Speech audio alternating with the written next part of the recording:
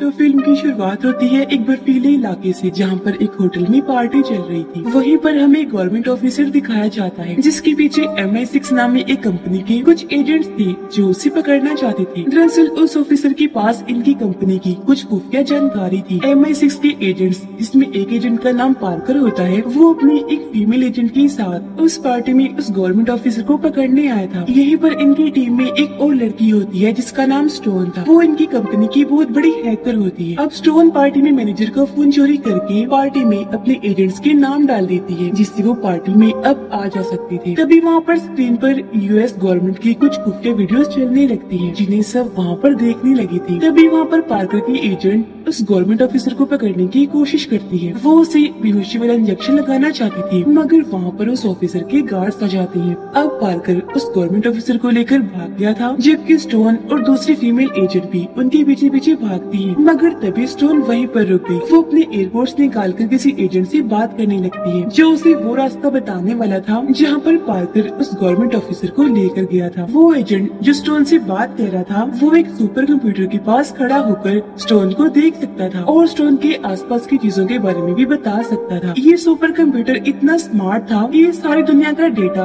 अपने पास रखता था। यहाँ तक कि हर एक जानकारी को भी, और तो और ये फ्यूचर भी बता सकता था कि आने वाले वक्त में क्या हो सकता है? दरअसल स्टोन एक दूसरी कंपनी की भी एजेंट थी और एम आई सिक्स के साथ भी काम किया करती थी, जिसका मतलब कि एम आई सिक्स के लोगों को स्टोन की असली रूप के बारे में नहीं पता था कि वो हमारे अलावा किसी और के साथ भी है। अब वो एजेंट जिससे स्टोन बात कर रही थी वो उसे एक पैराशूट दिखाता है, जिसकी मदद से स्टोन वहाँ तक पहुँच जाती है, जहाँ पर पार्कर उस गवर्नमेंट ऑफिसर को लेकर गया था। वहाँ कुछ गुंडे भी थे, जिनका स्टोन बड़ी बहादुरी से मुकाबला करती है। जब उसकी बाकी एम आई सिक्स की टीम आती है, तब तक उस गवर्नमेंट ऑफिसर ने जहर खाकर अपनी जान ले ली थी। अब ये सभी अपने ऑफ़िस में पहुँचते हैं, जहाँ पर स्टोन बॉस को हैकर लड़की के बारे में बताती है, जिसने होटल में खुफिया वीडियो चला दी थी। स्टोन कहती है, उसके पास कोई तो ऐसी जानकारी है, जिसके बारे में हमें पता करना चाहिए। पर उनका बॉस मना कर देता है और कहता है कि अपने काम पर ध्यान दो। फिर अब स्टोन पार्कर और बाकी टीम के लोग एक होटल में जाते हैं पार्टी करने, जहाँ पर वो उसी हैकर लड़की के बारे में बात करते हैं। यहाँ स्टोन के टीम मेंबर्स का यही कहना था कि शायद वो हैकर लड़की उन एजेंट्स की टीम में काम कर रही है, उनके साथ मिली हुई है जो हमारे खिलाफ है। पर ये लोग इस बात को नहीं जानते थे कि उस टीम के साथ स्टोन भी काम कर रही है। अब अगली सुबह स्टोन अपने दूसरे ऑफ़िस जाती है। उसकी इस कंपनी का नाम चार्टर कंपनी था। यहाँ पर आकर स्टोन अपने बाकी टीम मेंबर से मिलती है। वहाँ पर चार्टर कंपनी की बॉस भी थी। ये सभी भी उसी हैकर लड़की के बारे में बात कर रही थी। क्योंकि इनकी सारी खुफिया खबरें उसे पहले से ही पता होती थी। यहाँ पर एक एजेंट जो हर वक्त उनकी मदद किया करता था, बताता है कि उस हैकर लड़की का नाम किया है। और ये इंडिया में रहती है। इसने एक जहीन आदमी जो एजेंट है, उसे कंप्यूटर की हैकिंग को सीखा था, मगर अब वो दोनों एक दूसरे से बात नहीं करते। ये सारी जानकारी वो एजेंट अपने सुपर कंप्यूटर की मदद से निकालता है, जिस कंप्यूटर का नाम हार्ट है। अब चार्टर कंपनी की बोस कहती है कि हम किया की सारी मालूम एम आई सिक्स को पहुँचा देंगे, जिसके बाद तुम स्टोन उसे पकड़ लेना। मगर ये प्लान स्टोन को ठीक नहीं लग रहा था। पर स्टोन की बॉस और एजेंट दोनों स्टोन को हार्ट यानी कंप्यूटर पर भरोसा करने का कहते हैं। अगली सुबह स्टोन को एम आई सिक्स का एक एजेंट कॉल करता है और बताता है कि कल सुबह हमें जर्मनी जाना है, क्योंकि हमें किया यानी हैकर लड़की के बारे में कुछ जानकारी मिली है। इसीलिए अब स्टोन पार्कर और इनके दो और साथी जर्मनी के लिए निकल जाते हैं। वहाँ पहुँच होटल में जब ये डांस और मस्ती कर रहे थे तभी वहाँ पर कुछ गुंडे आ जाते हैं, जिन्होंने इन पर हमला कर दिया था। उस हमले की वजह से पार्कर बेहोश हो गया था। उसके बाकी के दो एजेंट्स उन गुंडों का मुकाबला करने लगते हैं। तभी यहाँ स्टोन कॉल पर अपने चार्टर टीम के एजेंट से बात करती है, ताकि वो उसे सुपर एआई कंप्यूटर के ज़रिए बचने का तरीका बता सके। वो एजेंट कहता है कि देखो, तुम यहाँ से निकल जाओ, वरना तुम भी मारी जाओगी। तुम इन लोगों का मुकाबला नहीं कर सकती। मगर स्टोन अपनी एम आई सिक्स की टीम को ऐसे खतरे में छोड़कर नहीं जाना चाहती थी। इसलिए वो अब उन गुंडों का मुकाबला करती है। वो उन गुंडों को बहुत ही शानदार तरीके से मार रही थी। जब उसकी दूसरी एजेंट स्टोन को ऐसे लड़ते हुए देखती है तो वो हैरान हो जाती है। क्योंकि उनकी नज़रों में तो स्टोन सिर्फ़ एक हैकर ही थी। ऐसी लड़ाई करते हुए उन्होंने इसे पहली बार देखा था। अब चारों वहाँ से एक ट्रक में बैठकर निकल जाते हैं। स्टोन जो की ट्रक को चला रही थी, वो बहुत ही अच्छे तरीके से अपनी टीम को बचा कर ले आई थी। ये चारों एक महफूज जगह पर पहुँच जाते हैं। जहाँ पर अब स्टोन की फीमेल एजेंट कहती है कि तुम आखिर कौन हो? स्टोन, ऐसे मैंने तुम्हें पहली बार देखा है। तुम्हें हमें अपनी असलियत के बारे में बताना ही होगा।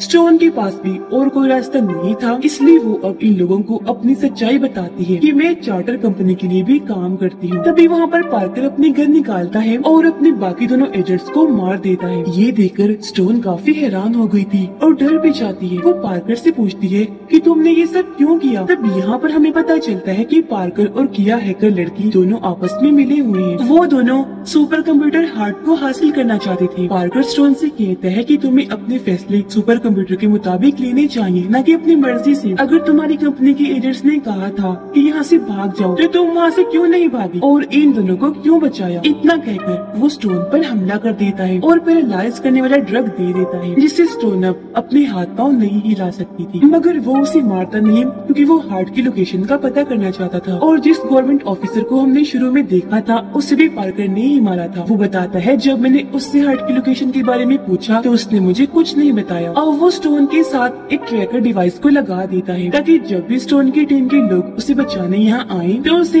हार्ट के बारे में पता चल जाए कि वो कहाँ पर है। क्योंकि हार्ट को दरअसल चार्टर कंपनी ने डिज़ाइन किया था। उसके साथ एक ऐसी डिवाइस थी, जिसको कंप्यूटर के साथ लगाकर पूरी दुनिया के डाटा के बारे में पता कर सकती थी। और जो हार्ट को कंट्रोल करता था, वो ही पूरी दुनिया को कंट्रोल कर सकता था। इसलिए पार्कर हार्ट के पीछे पड़ा था। फिर कुछ देर के बाद चार्टर की टीम आकर स्टोन को बचाकर अपने साथ ले जाती है। वहाँ पर उन्हें पता चलता है कि उनके कंप्यूटर्स को किसी ने हैक कर लिया था, मगर कुछ देर के बाद चार्टर के एजेंट्स ने उन्हें ठीक भी कर लिया था। स्टोन भी ठीक हो गई थी। उस पर से ड्रग का नशा उतर गया था। जो पार्कर ने उसे दिया था, वो अपने अंदर से उस ट्रैकर डिवाइस को भी निकाल कर तोड़ देती है, जो पार्कर ने ही उसके अंदर लगाई थी। एक एजेंट इनको बताता है कि किसी ने हमारे सिस्टम्स को हैक कर लिया था, ताकि वो हार्ट तक पहुँच सके। मगर वो अब बिल्कुल महफूज है। उसे एक लॉकर में रखा हुआ है, जो एक बैलून यानी गुब्बारे की शेप का है, जो हमारी ज़मीन से चालीस हज़ार फीट की बुलंदी पर महफूज है। और अब वो साउथ अफ्रीका की तरफ़ जाने वाला है। चार्टर कंपनी की बोस स्टोन से कहती है कि मैं तुम्हें अब काम पर नहीं रख सकती। तुम्हें आराम की ज़रूरत है। और तुमने हमारे प्लान के मुताबिक काम नहीं किया, वरना आज तुम्हारी टीम एम आई सिक्स के एजेंट ज़िंदा होते। और वो ये भी कहती है कि तुम इतने वक्त से पार्कर के साथ काम कर रही थी। तुम्हें जरा भी अंदाज़ा नहीं हुआ कि वो कैसा है। उसकी सच्चाई का पता नहीं चला। स्टोन को भी गुस्सा आ गया था। इसीलिए वो अपने गार्ड को वहीं फेंकती है और चली गई। स्टोन जब बस में जा रही थी तो उसके पास किया की कॉल आती है, जो उसे कहती है कि, हाय ओ माय गॉड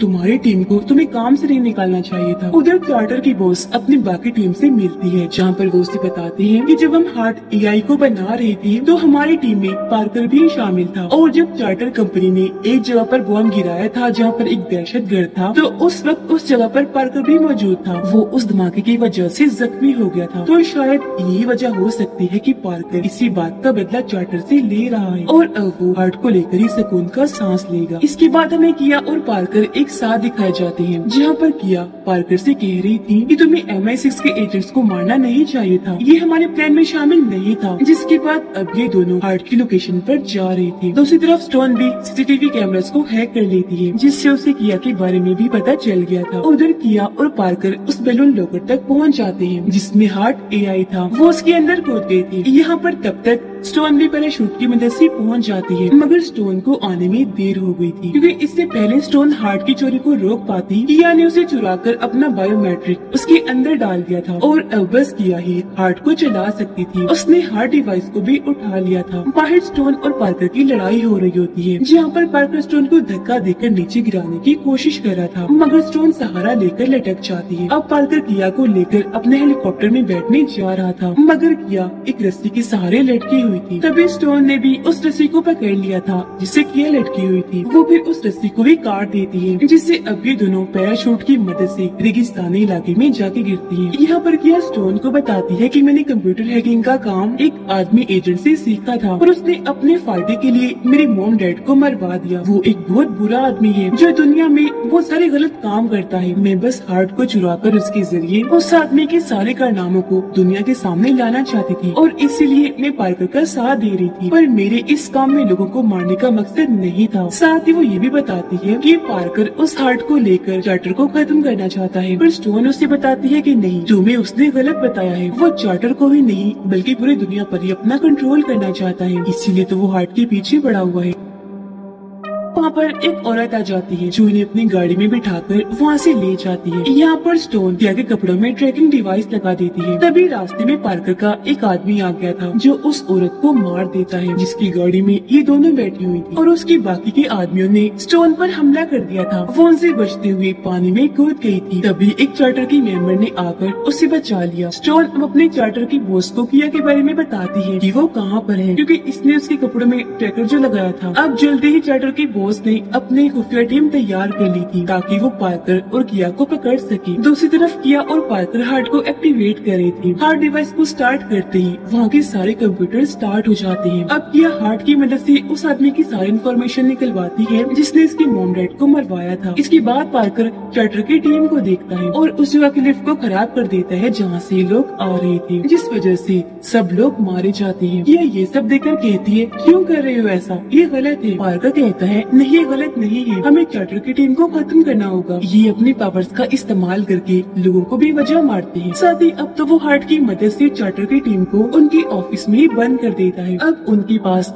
सिर्फ़ एक घंटे की ऑक्सीजन बची थी, जिससे वो सांस ले सकते थे। पार्कर को ये सब करते हुए देख कर किया समझ गई थी कि वो बेगुना लोगों को भी मार रहा है। ये सब जानने के बाद किया चुपके से सारे सिस्टम में वायरस को इंस्टॉल कर देती है। और फिर स्टोन को कॉल करके कहती है कि मैं जानती थी कि तुमने मेरे कपड़ों में ट्रैकिंग डिवाइस को लगाया था। इसलिए हमने तुम्हें गलत लोकेशन दिखाई, जो तुम्हारी टीम को मारने का बस एक प्लान था। अब मैं तुम्हें सही लोकेशन भेज रही हूँ, क्योंकि मैं जान चुकी हूँ, पार्कर गलत थे तुम्हें यहाँ पर आना होगा, ताकि हम हार्ट को बचा सके। तब तक चार्टर की टीम उस खुफिया जगह पर पहुँच जाती है, जहाँ का गलत पता किया ने बताया था। उधर जोरदार धमाका होता है, जिसमें सारी टीम मारी जाती है। स्टोन किया की सही लोकेशन पर जाने लगती है। किया ने भी कुछ देर के लिए सारे सिस्टम्स को बंद कर दिया था। पार्कर समझ जाता है कि ये सारा काम किया नहीं किया है। इसीलिए वो उसे यहाँ वहाँ ढूँढने लगता है। उधर स्टोन की बोस बताती है कि हमें पार्कर ने हार्ट की मदद से कैद कर दिया है। हमारे पास ऑक्सीजन की कमी है। स्टोन की बातों पर भरोसा करके उस जगह पर पहुँच गई थी। वहाँ जाकर वो देखती है कि पार्कर ने किया को भी पकड़ लिया था, क्योंकि उसे किया के बारे में सब पता चल चुका था। तो वो उसे हार्ट को एक्टिवेट करने का कहता है। पर तभी स्टोन उनके सामने आ गई थी। वो उस पर गन कर लेती है। पार्कर ने किया पर गन कर ली थी और वो स्टोन को गन नीचे करने को कहता है। वो स्टोन को बताता है कि मैंने अपनी सारी ज़िंदगी लगाकर अपने मुल्क के लिए काम किया और आखिर में मुझे मिला तो सिर्फ़ धोखा ही खास तौर पर चार्टर की तरफ़ से। इसीलिए मैं हार्ट को अपने कंट्रोल में लेकर हर चीज़ पर कब्जा कर लूँगा। स्टोन सब सुनकर कहती है, तुम भी तो चार्टर की तरह ही हो ना? तुमने भी तो हार्ट की मिलते ही बेगुना लोगों को भी मारना शुरू कर दिया। तभी किया पार्कर से बचकर साइड पर हो जाती है और अब स्टोन और पार्कर की लड़ाई होने लगी थी। पार्कर ने स्टोन को पकड़ लिया था। तभी किया स्टोन की तरफ़ गन फेंकती है, जिसे लेते ही स्टोन पार्कर पर चिल्ला देती है। पार्कर गोली लगने की वजह से मरने ही वाला था, पर वो स्टोन को मरते हुए कहता है कि मैं बदला लेने ज़रूर आऊँ। इतना कहकर वो मर जाता है और यहाँ उसका काम तमाम। स्टोन अपने बॉस को कॉल करती है, उसने हार्ट को अपने कंट्रोल में कर लिया था। तभी दरवाजों को खोल दिया था, जिससे सबकी जान बच जाती है। हार्ट दोबारा से चार्टर के कंट्रोल में आ जाता है। अब हम चार हफ़्ते की बात का सीन देखते हैं, जहाँ पर स्टोन एम के एजेंट्स के घर पर जाती है और जो मर गए थे, उनके बच्चों को गिफ्ट देती है। इसके बाद वो किया से जाकर मिलती है जो जेल में थी वो किया को भी चार्टर ज्वाइन करने का कहती है और उसे एक जोकर का कार्ड देती है। कुछ दिन के बाद स्टोन और किया एक मिशन पर दिखाई जाती है, जहाँ उनके साथ स्टोन का एजेंट साथी भी था। ये लोग आपस में हँसी खुशी बातें कर रहे थे और फैसला करते हैं कि ऐसे ही हम तीनों एक टीम बनकर हमेशा मिशन पर जाया करेंगे। बुराइयों को रोकने के लिए और इसी के साथ इस फ़िल्म की कहानी यहीं पर खत्म हो जाती